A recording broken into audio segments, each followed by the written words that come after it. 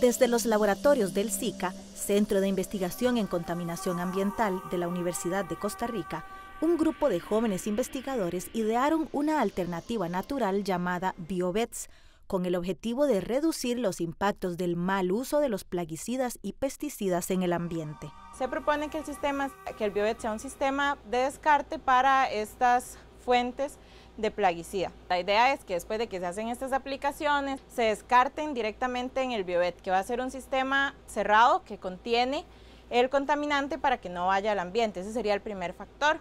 Y lo segundo es que favorece una degradación acelerada del contaminante.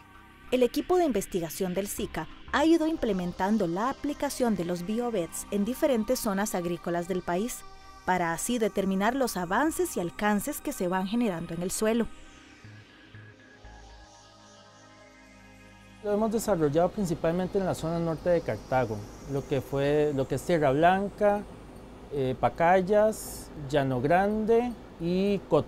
Y surgió como una digamos, como una respuesta a una problemática que nosotros encontramos. Los y las investigadoras del proyecto han recalcado que el uso de plaguicidas no es dañino si se realiza de forma responsable, respetando las medidas de protección ambiental o mediante mecanismos como los biobets.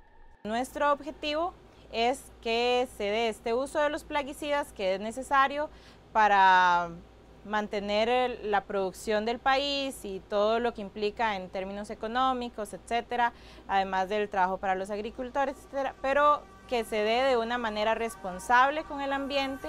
El proyecto de BioBets ha logrado ir más allá de la aplicación científica, al integrar dentro del proceso las capacitaciones para los y las agricultores de la zona basadas en la promoción de las buenas prácticas ambientales.